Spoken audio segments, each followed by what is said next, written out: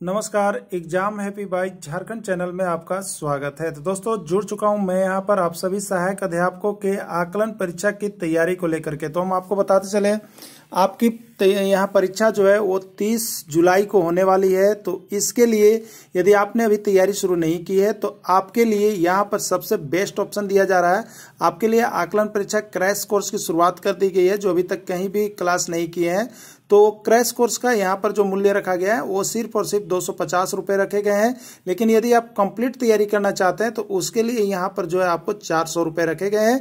सारे notes, JCERT text book पाठ्यक्रम पर आधारित सारा नोट्स हाथ से लिखा हुआ बनाया गया है, जो कि स्पेशल आपके जैक मॉडल पर आधारित है और चैप्टर वाइज नोट्स यहाँ पर दिया गया है। तो यदि आप अभी तक इस नोट्स को लेकर के नहीं पढ़े हैं तो आप परीक्षा में जाने से पहले एक बार यह नोट्स को अवश्य पढ़ लेंगे, क्योंकि यह जैक मॉडल पाठ्यक्रम पर आधारित है और आपके टेक्स्ट बुक पर आधारित है। तो आपका जो यहाँ पर आकलन परीक्षा होना है, वो आपके टेक्स्ट बुक पर ही आधारित होने जा रही है और यहाँ पर कम प्रश्न में बहुत ज़्यादा प्रश्न आपके भिड़ने की संभावना होगी। इसलिए आप यदि किसी भी बाजारू किताब की आप यहाँ पर पढ़ाई कर रहे हैं तो फिर ऐसा ना हो कि जेटेड के जैसा एक बार आपको पछतावा हो जाए कि दो नंबर और चार नंबर के खातिर फेल किए हो। तो यदि आप पछतावा नहीं चाहते हैं तो आप एक बार यहाँ से सारे नोट्स, वीडियो, पीडीएफ ज़रूर परचेज कर लेंगे। यदि नोट्स आप लेना चाहते हैं तो प्रत्येक सब्जेक्ट का नोट्स आपको तीस रुपए करके मिल जाते हैं। और यदि आप क्लासेज ज्वाइन करना चाहते हैं, क्रैश कोर्स जो अभी तीस दिनों की होगी तो उसके लिए आप दो सौ पचास दे करके जुड़ सकते हैं। और नोट्स के साथ साथ कोर्स भी चाहिए तो पूरे कंप्लीट कोर्स चार सौ रुपए में दिया जा रहा है, जो कि आपके लिए रामबान सिद्ध होगा। और आप यहाँ से अगर सारे नोट्स पीडीएफ और टेस्ट सीरीज़ को बना लेते हैं तो आपकी सफलता 101 प्रतिशत निश्चित है। तो आप अभी कभी हमारे मोबाइल नंबर यहाँ पर देख रहे हैं। इस मोबाइल नंबर पर अवश्य फ़ोन कर लेंगे और जुड़ जाएँगे। और सारे नोट्स और पीडीएफ ले लेंगे क्योंकि क्लासेस शुरू हो गई है और यह सफलता सीरीज़ शुरू किया गया है। तो इस सफलता सीरीज़ में आप सभी का स्वागत है। चलिए चलते हैं प्रश्न की ओर। दिया जाता है कि वसुमित्र किसके दरबार में रहते थे? अश्वघोष किसके दरबार में रहते थे? नागा अर्जुन किसके दरबार में रहते थे? और चरक किसके दरबार में रहते थे? जिसमें सबसे ज़्यादा बार अब तक जो आया है वो चरक कि किसके दरबार में रहते थे। तो इन सारे प्रश्नों का जवाब यदि आप जानना चाहते होंगे तो आप हमारे साथ जुड़े रहिएगा, बने रहिएगा और इस ट्रिक को देख लीजिएगा। आज के बाद कभी भी कंफ्यूजन यदि होगा तो आप हमको ज़रूर बताइएगा, ठीक है? और यहाँ पर हम आपके लिए सीरीज़ स्टार्ट किए ट्रिक टॉप हंड्रेड सीरीज़ जो आपका चल रहा है, जिसमें आज या ये जो आपका होगा ट्रिक का आपका हो जाएगा ट्रिक आपका यहाँ पर चलेगा, ये एट एट ट्रिक, ठीक है? तो आइए इसको एक ट्रिक से याद करते एक छोटे से ट्रिक के माध्यम से आपको हम दिखाते क्या हमने बनाया है। तो आप लोग देखते हैं, लिखा हुआ है, किसका बहन चला? अरे भैया, किसका बहन चला? बहुत बार आप लोग देखते होंगे, लिखा हुआ रहता है, किसका बहन चला, ठीक है? और यही ट्रिक से उन सारे प्रश्नों का जवाब आपको मिल जाएगा, ठीक है? अब देखिएगा यहाँ पर, किसका में देखिए, क से की बना है तो इसका मतलब रखिएगा कनिष्क, किसका मतलब क्या रखिएगा? कनिष्क। और भी का मतलब याद रखेगा वसुमित्र ए का मतलब याद रखेगा अश्वघोष एन का मतलब याद रखेगा नागा अर्जुन, और चला में च से याद रखेगा चरक, ठीक है? यानी वसुमित्र हो अश्वघोष हो, नागा अर्जुन हो, चरक हो, ये सभी कनिष्क के दरबार में रहते थे। किसके दरबार में रहते थे? कनिष्क के दरबार में रहते थे। देखिए, यहाँ पर बना हुआ भी है, फिर से देख लीजिएगा। किसका बहन चला रे भैया? देखें, किसका बहन चला, यह से याद रखिएगा कि मैं यहाँ पर कनिष्क हो गया, किसका से कनिष्क? भी से वसुमित्र, ए से अश्वघोष, एन से नागार्जुन और च से देखिए चरक। यानी वसुमित्र हो, अश्वघोष हो, नागार्जुन हो या चरक हो, ये सभी किसके दरबार में रहते थे? कनिष्क के दरबार में रहते थे। कितने वंशों ने शासन किया है? पहला दूसरा पूछ देगा, दिल्ली सल्तनत का पहला वंश कौन था? दिल्ली सल्तनत का अंतिम वंश कौन था? दिल्ली सल्तनत का दूसरा वंश कौन था? या दिल्ली सल्तनत के वंशों को क्रम से लगाइए। एक क्रम से इसमें से कौन सही है? तो ये सब प्रश्न जो आपसे पूछ दिया जाता है ना तो आप यहाँ पर बहुत ज़्यादा गलती करते हैं तो आपको गलती नहीं करना है। आपको क्या करना है? सही करके आना है। तो इसके लिए हम आपको लिए लेकर के आए हैं ट्रिक। बस देखते रहिएगा। तो देखिए, हमने आपको बता दिया है। कि हम आपको एन टी यहाँ जैक मॉडल पाठ्यक्रम का तो प्रश्न पर आधारित नोट्स दे ही रहे हैं। उसके साथ साथ आपको हम ट्रिक भी देंगे। उसके साथ साथ ट्रिक भी दे रहे जिससे कि आपको उससे भी कंफ्यूजन दूर रहे।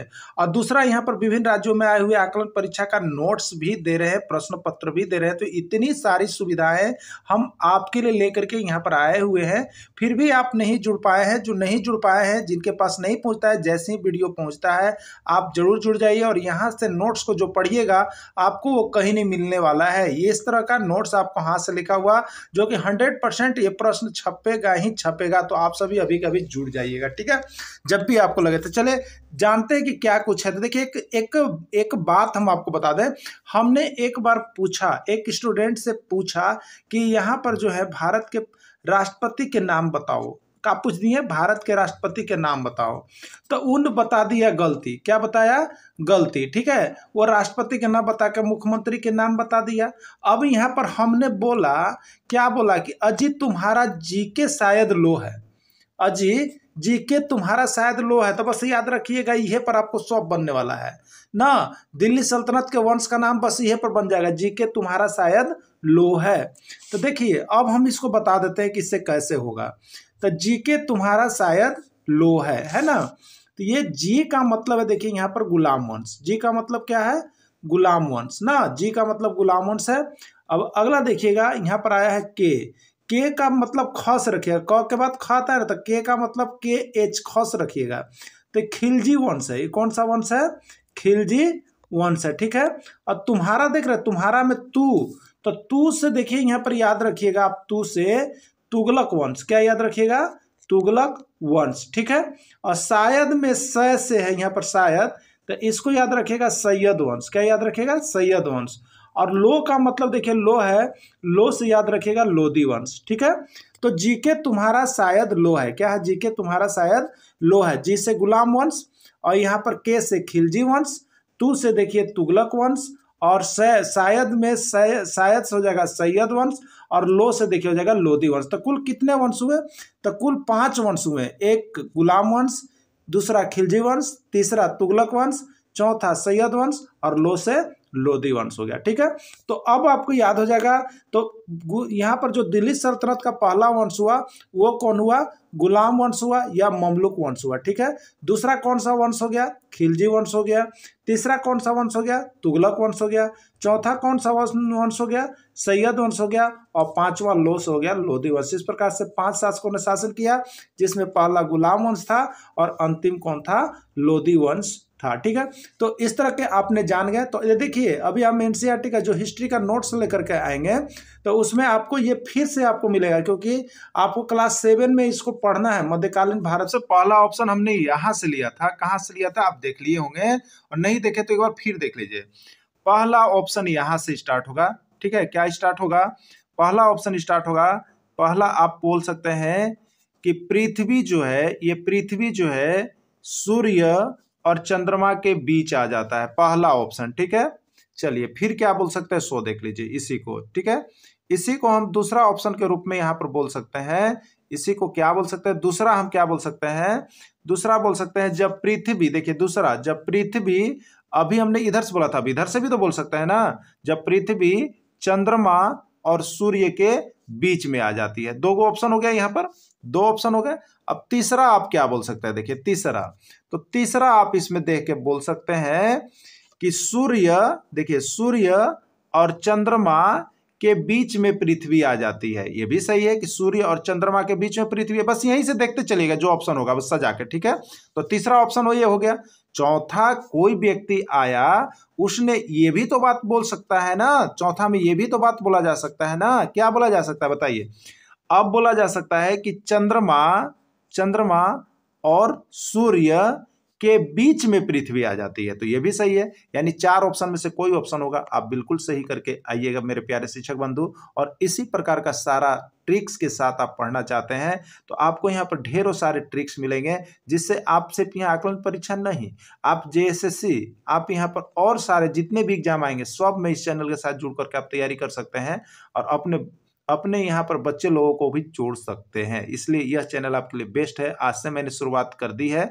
आपको इसी तरह से सारे क्वेश्चन को हम लेकर के आते रहेंगे और आकलन परीक्षा को धुआँ धुआँ आग लगाना है तो अभी के अभी संपूर्ण तैयारी के लिए पाँच सौ एक रुपया दे करके जुड़ जाइए तो लाइफ टाइम पछतावा होगा मेरे प्यारे शिक्षक बंधु। इसलिए आप सभी के सभी जुड़ जाइएगा। तो आइए देखते हैं ऑप्शन। देखिए, यहाँ पहला ऑप्शन था। अब आपको याद आ गया होगा, ऑप्शन देखिए।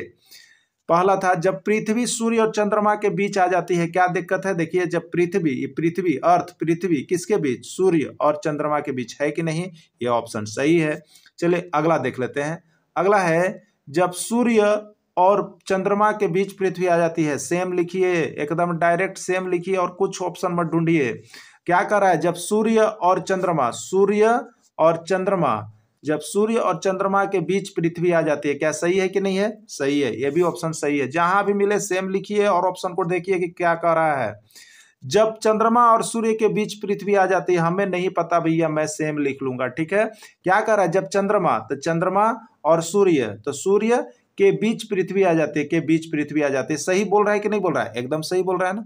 यानी इसका राइट आंसर होगा मेरे प्यारे शिक्षक बंधु, उपयुक्त सभी। तो आप इस तरह से विश्व जल दिवस कब मनाया जाता है? देखिए, यहाँ पर है, बाईस मार्च, बाईस अप्रैल, बाईस मई या बाईस जून। देखिए, यहाँ पर एक नियत तिथि फिक्स है कि विश्व जल दिवस जो है, वो मनाया जाता है। आपको बाईस तारीख को ये तो फिक्स हो गया, लेकिन आपको महीना याद करना है कि मार्च का था, या अप्रैल, या मई, या जून, ठीक है? देखिए, अब आपको बताते हैं, दो प्रश्न यहाँ से जो रहता है। देखिए, बाईस मार्च, ठीक है? और 22 अप्रैल, ये दोनों को याद कर लीजिएगा, ये दोनों बार बार पूछा जाता है, ठीक ना? तो देखिए, ये क्या होता है? जैसे हम देखेंगे धरती की सतह तो ये क्या है? धरती है, ये पृथ्वी है, और जल इसके क्या होते हैं? इसके ऊपर होते हैं होते हैं ना? होते हैं। तो देखिए, अब आपको बताते हैं, जल जब इसके ऊपर हैं तो यहाँ पर देखिए, सबसे पहले क्या आएगा? मार्च आएगा, फिर अप्रैल आएगा। तो मार्च आया तो ये ऊपर हो गया तो बाईस मार्च ना? मार्च ये हो जाएगा आपका जल दिवस। बाईस मार्च को जल दिवस हो जाएगा। और इसके नीचे क्या है? देखिए, पृथ्वी है तो ये 22 का ही डेट रहेगा, लेकिन ये अप्रैल होगा। तो 22 अप्रैल जो है आपका पृथ्वी दिवस हो जाएगा। तो बहुत इंपॉर्टेंट है 22 मार्च, यानी जल बना लीजिएगा। जल ऊपर है तो 22 मार्च को जल दिवस और 22 अप्रैल को पृथ्वी दिवस। तो यहाँ पर कंफ्यूज होता है, मार्च की अप्रैल। तो इस तरह से आप जब बना करके याद रखिएगा कि पृथ्वी है, उसके ऊपर वाले जल को लेना है ना? तो ऊपर वाला जल है तो बाईस मार्च को जल दिवस और बाईस अप्रैल को पृथ्वी दिवस हो जाएगा। ओके? चलिए, अगला देखिएगा।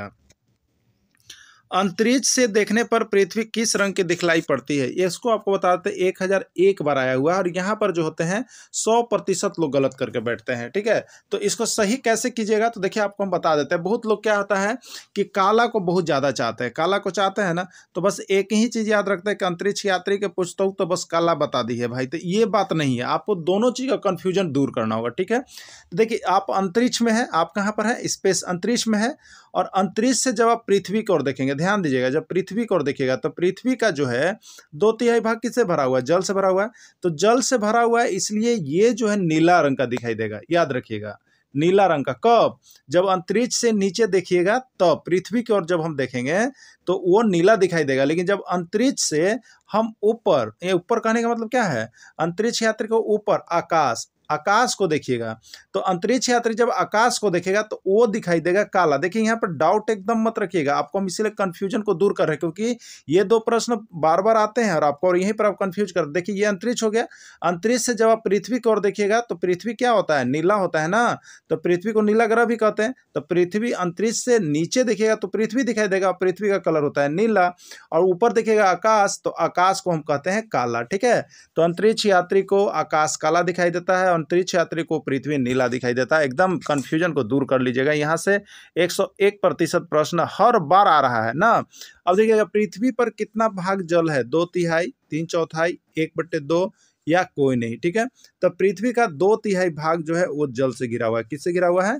जल से गिरा हुआ है। यही इसका ज़्यादा आंसर होता है तो यही आता है बहुत बार आया हुआ सब एग्ज़ाम में आया हुआ ठीक है? पृथ्वी का कितना प्रतिशत भाग जल समुद्र से घिरा हुआ था देखिए, आपको एक कहानी सुनावत होते हैं कि जैसे जब समुद्र में यहाँ पर हमारे सैनिकों का जब बोट चलते रहता है तो आप देखें कि ये लोग समुद्र के पानी को छूते ज़रूर हैं, लेकिन समुद्र पानी को पी नहीं सकते। तो इसलिए कहावत कही गई है, समुद्र में पानी है बहुत लेकिन प्यास नहीं बुझती। यानी समुद्र में लोग जब दो दो महीने तीन तीन महीने का बोटिंग लेकर सफ़र करने हमारे सैनिक निकल जाते हैं तो वो अपने साथ पानी भी लेकर के जाते हैं। ऐसा नहीं है कि समुद्र के पानी को आप पी सकते हैं, ठीक है? तो यही चीज़ होता है, सबसे अधिक समुद्र का पानी है और वो जो है आपका देखिए नाइन्टी सेवन प्रतिशत है। कितना है? नाइन्टी सेवन प्रतिशत। यानी कितना प्रतिशत जल समुद्र में पाया जाता है?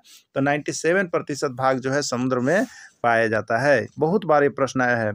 बर्फ़ से पिघलने वाले जल की मात्रा कितनी है? बर्फ़ से पिघलने वाले जल जैसे हमारा हिमानी हो गया हिमनद हो गया बर्फ़ की नदियाँ तो बर्फ़ से पिघलने वाले जल होते हैं। उसकी मात्रा कितनी है? दो तीन चार या आ, तीन कोई नहीं। तो ठीक है बर्फ़ से पिघलने वाले जो जल की मात्रा होती है वो आपका यहाँ पर है दो प्रतिशत और इसको हम लोग यहाँ शुद्ध जल के रूप में भी जानते हैं।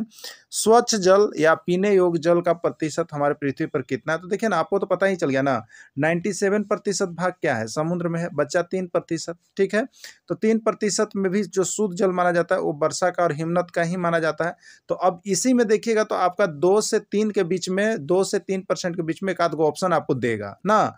वो ऑप्शन को आपको सही कर लेना। तो यहाँ पर देखिए, ये ये तो ज़ीरो पॉइंट ज़ीरो के है ये एक के साथ है, ये चार के साथ है। तो दो और तीन के बीच में एक ही को यहाँ पर ऑप्शन है, दो दशमलव ज़ीरो आठ तो इसी को भी मान लेना है। तो इसी तरह से दो दशमलव ज़ीरो आठ, दो दशमलव दस, दो दशमलव बारह, इस तरह ऑप्शन में दिए हुए रहते हैं। मतलब दो से तीन परसेंट के बीच में आपको शुद्ध जल या पीने योग्य जल का प्रतिशत रहेगा तो ये होगा। तो ये आपको देखिए, एक हज़ार एक बार आया वो प्रश्न है। एक दो बार की बात मत कही इसलिए इसको तो आप लोग सारा देखिएगा। और ये चैप्टर तो पूरा के पूरा इंपॉर्टेंट है, इसमें जितना जल चैप्टर है, क्योंकि जल से एक प्रश्न तो आपका पक्का भिड़ना है, ठीक है?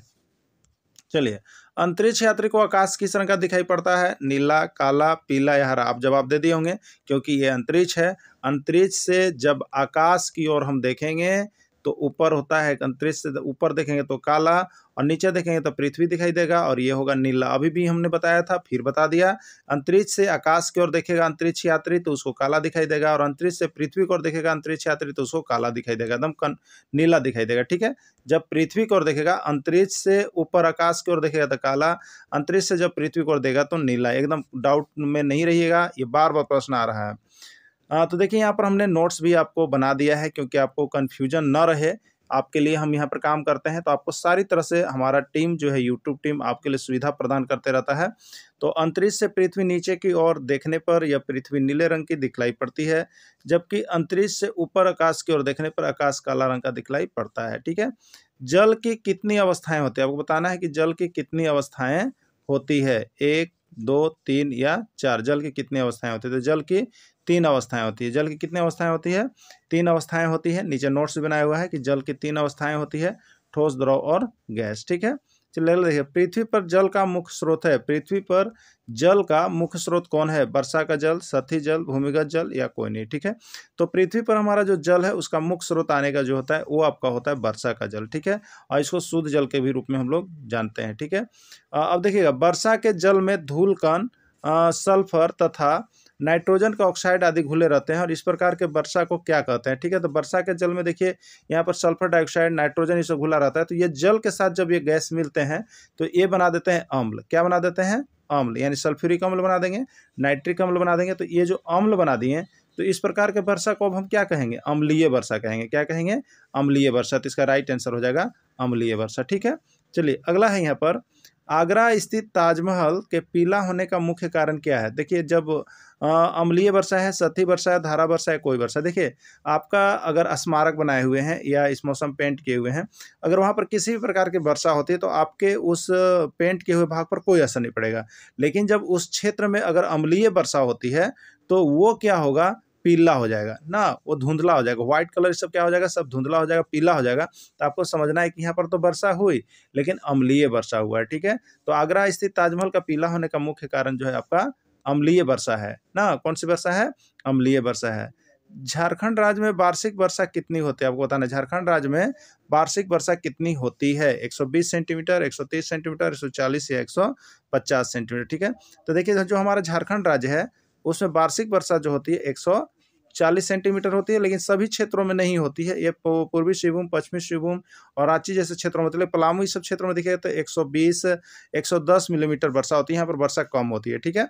अगला है भौम जल के स्तर में कमी आने का मुख्य कारण क्या है? जो हमारा भौम जल है, भूमिगत जल है, उसके स्तर में कमी आने का मुख्य कारण क्या है? जनसंख्या वृद्धि कृषिगत उपयोग, वर्षा का समान वितरण या सभी जैसे होता क्या है कि भौम जल, यानी वर्षा का जल जो होता है, भूमि के अंदर रिस करके रहता है, जिससे हम लोग यहाँ पर क्या करते हैं तो पानी को निकालते हैं, ट्यूबवेल के माध्यम से, चापाकल के माध्यम से, पंप के माध्यम से। तो ये भौम जल का स्तर भी अब धीरे धीरे डाउन हो रहा है, यानी जहाँ पहले तीस फीट पर पानी होती थी, वो अब सौ फीट चले गए। तो ये इतना डाउन होने का रीजन क्या है? तो जनसंख्या वृद्धि भी है कृषिगत उपयोग भी है और वर्षा का असमान वितरण, ये सभी इसके मुख्य कारण हो हैं, ठीक है? इसके सभी मुख्य कारण यहाँ पर हैं। झारखंड का जल पुरुष के नाम से किसको जाना जाता है? झारखंड का जल पुरुष के नाम से किसको जाना जाता है? आपको बता देते हैं। ये जल पुरुष जो है, अभी तक के एग्ज़ाम में यहाँ पर पाँच बार पूछ दिया गया है, जो झारखंड में एग्ज़ाम हुए हैं और बहुत ही इंपॉर्टेंट है। सीमन उराव कमसिन उराव जगन उराव या कोई नहीं, ठीक है? तो झारखंड का जल पुरुष के नाम से किसको जाना जाता है? तो इसका राइट आंसर हो जाएगा सीमन उराव यानी झारखंड का जल पुरुष जो है सीमन उराव को जाना जाता है। पर्यावरण संरक्षण के लिए 2016 में झारखंड में किनको पद्म श्री से नवाजा गया किनको पद्म श्री से नवाजा गया पर्यावरण संरक्षण के लिए 2016 में झारखंड में किनको पद्म श्री से नवाजा गया अंकलेश मुंडा, सीमन मुंडा, सीमन उराव या कोई नहीं, ठीक है? तो ये जल संरक्षण, पर्यावरण संरक्षण जो है जल के लिए, इसमें आता है सीमन उराव जी का नाम। तो सीमन उराव को जल पुरुष, सीमन उराव को पर्यावरण संरक्षण के लिए माना गया, ठीक है? खेल, खेत के फ़सल सूख जाते हैं। कौन सी वर्षा कारण? खेत के अम्लीय वर्षा सोहनीय वर्षा, क्षारीय वर्षा या कोई नहीं, ठीक है? तो देखिए, अम्लीय वर्षा एक ऐसी वर्षा है, जब अम्लीय वर्षा होता है तो क्या होता है? तो स्मारक का रंग फीका पड़ जाता है। जलीय जीव जंतु क्या होते हैं? मर जाते हैं, जो जल में जलीय, जैसे मेढक है, और यहाँ पर मछली की बात करें तो जिस क्षेत्र में अम्लीय वर्षा होगा, वहाँ के जीव जंतु क्या होंगे? वो मर जाएँगे और पानी के ऊपर छल आ जाता है, ठीक है? खेत के फ़सल क्या होते हैं? जिस क्षेत्र में होंगे, वो सूख जाते हैं, पीला पड़ जाते हैं। तो ये सब किस फल, किसके कारण होता है? अम्लीय वर्षा के कारण होता है, ठीक है? तो यहाँ पर पूछा है, खेत के फ़सल सूख जाते हैं, किसके कारण? तो ये राइट हो गया, अम्लीय वर्षा, ठीक है? तंत्र शासन का अर्थ क्या है? जनता का शासन राजा का शासन, प्रजा का शासन या सेना का शासन। तो राजतंत्र शासन का अर्थ क्या होता है? तो देखिए, यहाँ पर स्पष्ट रूप से कि सभी राज्यों में राजतंत्र तो नहीं है, लेकिन यहाँ पर कुछ राज्यों में जैसे राजतंत्र है तो उस राजतंत्र में राजतंत्र के शासन का अर्थ क्या है? जनता का शासन, राजा का शासन, प्रजा का शासन या सेना का शासन। ठीक है? तो देखिए, ऐसे ही है राजतंत्र। राजतंत्र लिखा हुआ है राज मतलब क्या हो जाता है? राज को जोड़ा जाता है, उसको हम लोग कहते हैं राजा, यानी राजतंत्र का मतलब राजा का शासन और लोकतंत्र का मतलब लोगो। लोगो मने जनता जनता का शासन होता है, ठीक है?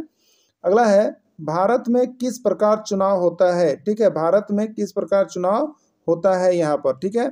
प्रत्यक्ष लोकतांत्रिक चुनाव, अप्रत्यक्ष लोकतांत्रिक चुनाव, प्रत्यक्ष और अप्रत्यक्ष दोनों या इसमें से कोई नहीं। तो सभी को जानते हैं, भारत में जो होता है, जो चुनाव की प्रक्रिया है, वो अप्रत्यक्ष रूप से होती है। यानी कोई भी व्यक्ति सामने खड़ा होकर के उसको डायरेक्ट नहीं चुना जाता है, बल्कि जनता जो है यहाँ मतदान करती है, जिस समय कोई भी उम्मीदवार नहीं होता है और उसको यहाँ पर मत डाला जाता है। तो उसको हम लोग कहते हैं अप्रत्यक्ष रूप से, लेकिन यहाँ पर स्विट्जरलैंड जो है, वहाँ पर प्रत्यक्ष जो होता है, यानी व्यक्ति सामने खड़ा होता है और उसके सामने ही चुनाव होते हैं और हाथ खड़ा किया जाता है। उसके आधार पर चयन होता है, ठीक है?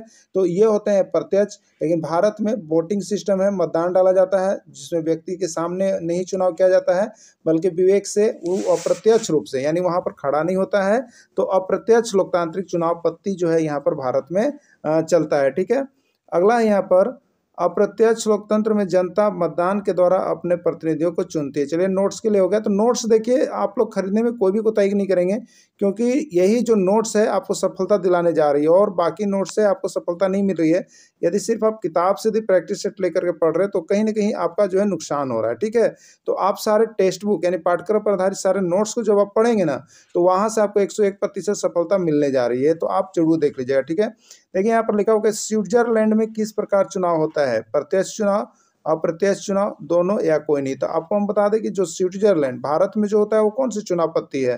अप्रत्यक्ष रूप से होती है, लेकिन स्विट्जरलैंड ऐसा यहाँ पर जगह है जहाँ पर जो है प्रत्यक्ष चुनाव होता है। कैसा होता है? प्रत्यक्ष चुनाव होता है, यानी जिसको भी उम्मीदवार रहते हैं, वो सामने खड़े होते हैं और जनता नीचे जो प्रजा होती है, वो हाथ खड़ा करके उनका चुनाव करते हैं। जिसके तरफ़ वोटिंग हाथ ज़्यादा खड़ा होता है, वो यहाँ पर चुनाव को जीतते हैं। तो जो सामने अगर चुनाव का वोटिंग होता है तो उसको प्रत्यक्ष चुनाव कहते हैं और जो सामने नहीं व्यक्ति के चुनाव होता है, उसको अप्रत्यक्ष चुनाव कहते हैं। तो स्विट्जरलैंड में प्रत्यक्ष चुनाव होते हैं और भारत में अप्रत्यक्ष चुनाव होता है। अगला प्रश्न आपका हो जाएगा देखिए, लिखा हुआ है प्रत्यक्ष चुनाव में जनता अपने सामने सीधे खड़े होकर शासक को चुनती है। मध्यान्ह भोजन योजना भारत में किसके सहयोग से संचालित है? मध्यान्ह भोजन योजना भारत में किसके योग, सहयोग से संचालित है? यह प्रश्न अब तक एक सौ एक बार पूछ दिया गया है। यानी आपके झारखंड में ही जो जेटेट है, उसमें भी आए हुए थे और इधर एग्ज़ाम में भी आपका आया हुआ है। बाकी बिहार टेट में भी पूछा गया, ठीक है? और बिहार आकलन में भी पूछा गया है कि मध्यान्ह भोजन योजना जो है, भारत में किसके सहयोग से संचालित हो रही है? केंद्र सरकार के सहयोग से, राज्य सरकार के सहयोग से, केंद्र और राज्य दोनों के सहयोग से या कोई नहीं, ठीक है? तो देखिए मध्यान्ह भोजन योजना जो है, वो दो प्रकार से संचालित हो रही है। वो केंद्र और राज्य दोनों की योजना है, ठीक है? केंद्र और राज्य दोनों की प्रायोजित योजना है। मध्यान्ह भोजन योजना न केवल केंद्र का है, न केवल राज्य का है, बल्कि दोनों के मध्यस्थता से यह संचालित हो रही है। मध्यान्ह भोजन योजना भारत में सर्वप्रथम किस राज्य में लागू किया गया था? ठीक है? देखिए, यही प्रश्न जो है आपको, आप देखिएगा तो जेटेट 2016 में आया था। अब आप यहाँ पर बताइए, ये प्रश्न जेटेट 2016 में आया और बहुत लोगों ने गलती किया था इस प्रश्न को, और ये कहाँ से मिल रहा है? तो आपको देखिए क्लास सेवन एक्सरसाइज वन ठीक है? इसी से मिल रहा है ना? आपको हमने यहाँ पर तो लिख दिया है कि किस किस एक्सरसाइज से है। आप जाकर के किताब भी मिला लीजिएगा। तो मध्यान्ह भोजन योजना जो भारत में सर्वप्रथम किस राज्य में लागू किया गया था? तमिलनाडु छत्तीसगढ़, झारखंड या केरल, ठीक है? तो देखिए मध्यान्ह भोजन योजना, मिड डे मील योजना जो है, सर्वप्रथम भारत के तमिलनाडु राज्य में लागू किया गया था। किसमें किया गया था? तमिलनाडु राज्य में लागू किया गया था। तो इस तरह से आप देखिएगा तो जेटेड में भी आपको यहीं से पूछा जाता है और आपको सारे नोट्स यहीं से पढ़ना है, ठीक है? यहीं से पढ़ करके आपको सफलता ज़रूर मिल जाएगी। आगे देखिएगा, यहाँ पर मध्यान्ह भोजन योजना किस उद्देश्य से लागू किया गया था? आखिर, जो मिड डे मील है, जो मध्यान्ह भोजन योजना जो हम लोग के स्कूलों में चलाई जा रही है, आखिर उसका उद्देश्य क्या था? क्यों मध्यान्ह भोजन योजना लागू किया गया था? तो है बच्चों का नामांकन बढ़ाने के लिए ऑप्शन दिया हुआ है, बच्चों का नामांकन बढ़ाने के लिए बी में है बच्चों की उपस्थिति बढ़ाने के लिए, सी में है बच्चों का पोषण स्तर में सुधार करने के लिए, और डी में है सभी। तो देखिए इसका राइट आंसर जो हो जाएगा वो आपका सभी हो जाएगा, क्योंकि मध्यान्ह भोजन योजना लागू करने का सिर्फ़ एक मकसद नहीं था, विभिन्न उद्देश्यों से मध्यान्ह भोजन योजना को लागू किया गया है। तो सबसे पहला तो मध्यान्ह भोजन का सबसे पहला और मुख्य उद्देश्य था बच्चों का नामांकन बढ़ाने के लिए, क्योंकि बच्चे जो नहीं ठहरते थे तो जब मध्यान्ह भोजन योजना लागू हुई तो बच्चों को नामांकन बढ़ने लगा। सरकारी विद्यालय में बच्चों का नामांकन क्या हुआ? बढ़ा, ठीक है? दूसरा क्या है? बच्चों की उपस्थिति बढ़ाने में, ठीक है? तो यहाँ पर क्या हुआ? अब मध्यान्ह भोजन योजना जब आ गई तो बच्चों की उपस्थिति भी बढ़ने लगी और तीसरा, बच्चों का पोषण स्तर। यानी अब देखिएगा तो अभी जो आपका मिड डे मील में बहुत ज़्यादा सुधार किया जा रहा है। आपको हर दिन यहाँ पर अंडा देने की बात कही जा रही है, फल देने की बात की इससे क्या हो रहा है? तो इससे बच्चों को जो यहाँ पर जो गरीब तबके के बच्चे हैं, जिनको शरीर में पोषण स्तर नहीं मिल पाता है, पोषक तत्व तो नहीं मिल पाता, उसके लिए उनका जो है स्वास्थ्य बिल्कुल सही रहे तो बच्चों का पोषण स्तर में बढ़ावा देने के लिए भी ये चलाया जा रहा है। तो इस तरह से इसका राइट आंसर सभी हो जाएगा ना?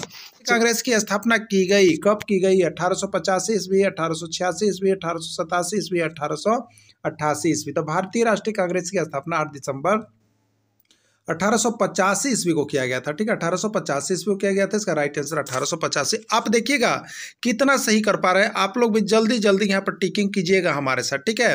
भारतीय राष्ट्रीय कांग्रेस की स्थापना किसके द्वारा की गई? ए ओ ह्यूम, जॉर्ज बल्ला जॉर्ज यूल या कोई नहीं आपका ये जेएसएससी में पूछा गया, झारखंड में जो एग्ज़ाम हुआ है, उसमें ही आया है। ना कै बार आया है, तभी तो बता दो दो बार अभी तक आया है, जेएसएससी सीजीएल का, ठीक है? तो अब देखिए, भारतीय राष्ट्रीय कांग्रेस की स्थापना किसके द्वारा की गई? तो यहाँ पर ए ओ, हयूम के द्वारा, एक्टल एक्टोनियन ह्यूम के द्वारा किया गया था, ठीक है? अब देखिएगा, अगला भारत में सर्वप्रथम आम चुनाव कब हुए? भारत में सर्वप्रथम आम चुनाव कब हुए? एक हज़ार एक बार पूछा है मेरे प्यारे मित्रों। एक दो बार की बात मत कहिए, एक हज़ार एक बार ही प्रश्न पूछा है। और आप कहिएगा, कहाँ से तो बताइए एन e का टेस्ट बुक, क्लास आठ, एक्सरसाइज तीन में छपा हुआ है है ना? तो टेक्स्ट बुक पढ़िएगा, तब तो निकलेगा ना। तो भारत में सर्वप्रथम आम चुनाव उन्नीस सौ बावन ईस्वी में हुआ था। कब हुआ था? उन्नीस सौ बावन ईस्वी में हुआ था। झारखंड को कितने लोकसभा क्षेत्र में विभाजित किया गया? देखिए, झारखंडो जो है ना, आपको किताब के साथ साथ पढ़ा दिया। झारखंड को कितने लोकसभा क्षेत्रों में विभाजित किया गया है? बारह, तेरह, चौदह या पंद्रह? तो इसका राइट आंसर है चौदह। झारखंड को चौदह लोकसभा क्षेत्रों में विभाजित किया गया है। आप सभी जानते होंगे। भारतीय सांसद मिलकर बनता है। जो भारतीय संसद होता है ना, वो किसको मिलकर बनता है? कौन कौन उसमें होता है? राष्ट्रपति होते हैं, राज्यसभा होते हैं, लोकसभा होते हैं कोई नहीं, या सभी, ठीक है? तो देखिए, भारत का जो संसद होता है ना, उसमें राष्ट्रपति भी होते हैं, राज्यसभा सदस्य भी होते हैं और लोकसभा सदस्य भी होते हैं, समझ गए? ये तीनों को मिला करके ही भारत का संसद का निर्माण होता है, ना? तो इसका राइट आंसर देखिए, हो जाएगा ई, सभी, यानी राष्ट्रपति, राज्यसभा और लोकसभा सभी इसमें मिल करके निर्माण करते हैं। अगला है, देश का प्रथम नागरिक कौन होता है? अरे भैया, क्या बताएँ? एक हज़ार एक बार प्रश्न पूछ दिया और हल्के लगता है, हल्के प्रश्न आता है। और ये क्लास एटे में है, बताइए। तो आप लोग पढ़ते नहीं हैं तो कहाँ से आएगा?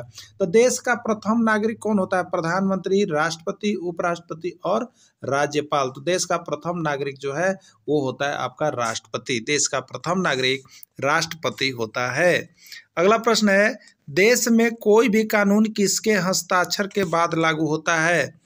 प्रधानमंत्री, राष्ट्रपति, उपराष्ट्रपति या कोई नहीं, किसके हस्ताक्षर के बाद लागू होता है, आपको बताना है। तो देखिए देश में कोई भी कानून जो है ना, वो राष्ट्रपति के हस्ताक्षर के बाद लागू होता है। तो राष्ट्रपति के हस्ताक्षर हो जाएगा ना तो वो लागू हो जाता है। तो राष्ट्रपति के हस्ताक्षर के बाद होता है। और ये देखिए, ये भी आपको एक सौ एक बार पूछा गया है और सब आपका किताबे का है, देख रहे हैं ना, यहीं से आएगा। झांसा में ना आइए, केकरो एने जैसे जे देख रहे हैं आप लोग ना देखिए देखिए यहाँ ही सब कुछ यहीं से मिल जाएगा समझ गए ना? इसलिए जुड़ करके सारा नोट्स देख लीजिए इम्पोर्टेंट क्वेश्चन यही है इम्पोर्टेंट यही से छपेगा।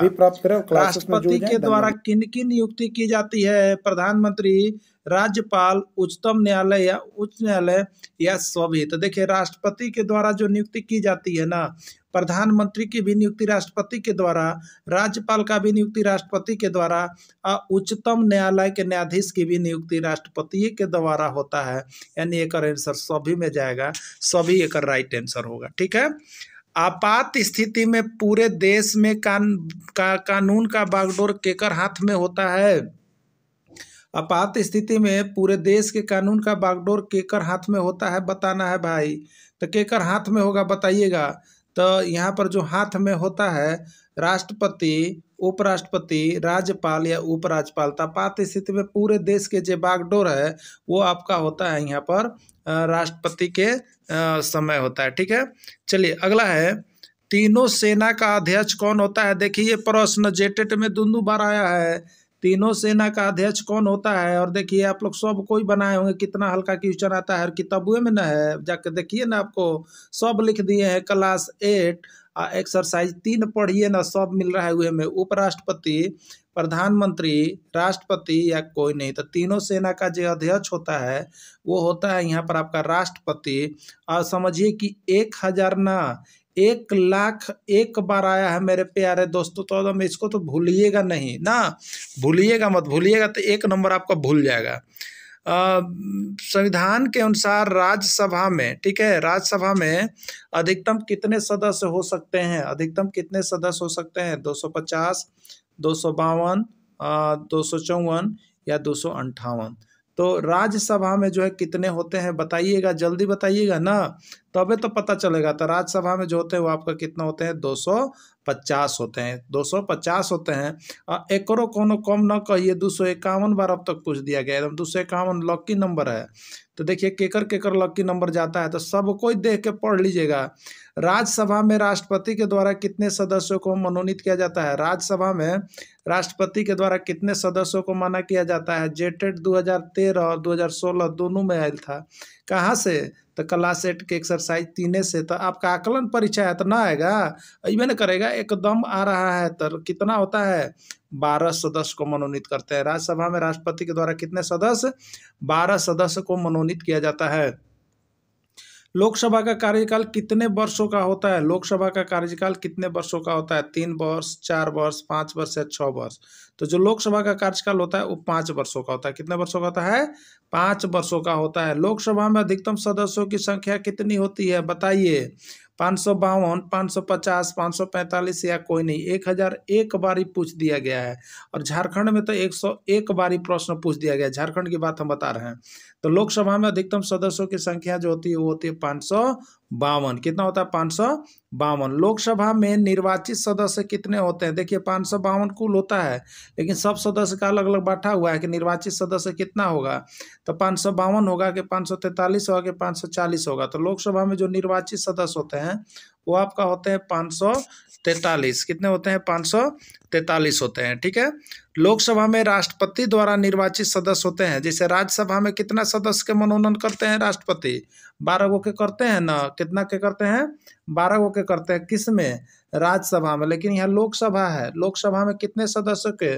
तो लोकसभा में दुए गो सदस्य के मनोनीत करते हैं राष्ट्रपति। ठीक ना? और राज्यसभा में बारह और लोकसभा में दो के मनोनयन होता है ना? राज्यसभा को कहा जाता है? देखिए, राज्यसभा के कौन कौन नाम है? बताइएगा।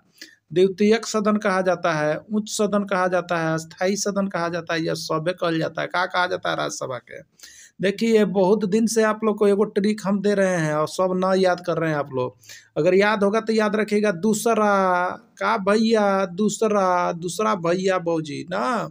तो दूसरा तो डी से हो गया देखिए, द्वितीयक सदन, द्वितीयक और उच्च, ऊ से हो गया देखिए, उच्च सदन और एस से हो गया, देखिए अस्थाई सदन, और रा के मतलब हो गया, देखिए, रा का मतलब है राज्यसभा, यानी राज्यसभा के का का कहल जाता है तो द्वितीय सदन या दूसरा सदन कहा जाता है, उच्च सदन कहा जाता है, और अस्थाई सदन कहा जाता है। ये सब राज्यसभा के कहा जाता है तो दूसरा क्लास याद रखिएगा। कौन क्लास में आप लोग पढ़ते हैं? दूसरा याद रखिएगा, ना? तो दूसरा मतलब द्वितीयक सदन, उच्च सदन और अस्थाई सदन, ये सब केकरा? राज्यसभा के कहल जाता है, ना? देखिए, यहाँ पर ट्रिको बना दिए हैं। दूसरा, क्या बनाए हैं? बनाए हैं ना आप लोग के लिए? बना दिए हैं, देखिए, दूसरा। दूसरा में डी से द्वितीयक सदन ऊँच से उच्च सदन या ऊपरी सदन, एस से अस्थाई सदन और आर ए का मतलब है, देखिए, राज्यसभा। यानी राज्यसभा के इस सबे नाम दिया जाता है अस्थाई उच्च और द्वितीयक या दूसरा सबे नाम राज्यसभा के। एकदम आज के बाद तब पक्के हो जाएगा राज्यसभा ना? ना हो जाएगा? अगर अगर लगा कि पक्का हो जाएगा तो अभी वीडियो देख रहे तो लाइक ठोक दीजिए ना। यही लाइक के चलते तो हम आपके साथ जुड़े हुए रहते हैं। और अभी अभी देखिए, सब नोट्स परचेज कर ले ऐसा आपको मिलेगा ना नोट्स ऐसा नोट्स आपको ट्रिकी मिलेगा ना? कि आप जहनो न याद किए होंगे अभी तक ना, वो पक्का पक्का याद होने लगेगा एकदम, और ना भुलाइएगा। तो सब सब्जेक्टे के दे रहे हैं, कितना? अब इतना से सस्ता नहीं मिलेगा आपको, समझ गए? बहुत सस्ता में नोट्स पीडीएफ वीडियो सारा आपको तैयारी करवा दे रहे हैं आप शिक्षक गण के हित को ध्यान में रखते हुए। और हमारे यूट्यूब चैनल तो मेगा ऑफ़र में ये कहता है कि सब शिक्षक पढ़े, और सभी शिक्षक आकलन पास करके दो हज़ार रुपया बढ़ाए और परमानेंट हो जाए, यह तो हमारे आस है। ना तो चलिए, लोकसभा को अब का का कहल जाता है। राज्यसभा के तो देख लिए ना, अब लोकसभा के का कहल जाता है? प्राथमिक सदन अस्थाई सदन, निम्न सदन या सभी, ठीक है? तो एक बार आप लोग देखिए, हमारे अगर नोट्स आप लोग देख रहे होंगे ना तो बहुत कोई तो नोट्स बात देखिए नहीं रहे हैं तो का हम कहें? नोट्स बात देख रहे होंगे तो एगो लिखे थे देखिएगा, अरे पान लो दूसरा, कहता है ना बेटा, पान लो दूसरा समझ गए? अब देखिए, यहाँ पान लो दूसरा में बड़ा मज़ा आएगा। ये पान लो, ना? लोक के मतलब है देखिए, यहाँ पर लोकसभा लोक का मतलब है लोकसभा। तो लोकसभा के एने वाला शब्द देखिए ना, एने वाला लोकसभा के है, समझ गए? तो लोकसभा के क्या कहा जाता है? एन से हो गया निम्न सदन। यह लोकसभा के क्या कहा जाता है? ए का मतलब है अस्थायी सदन।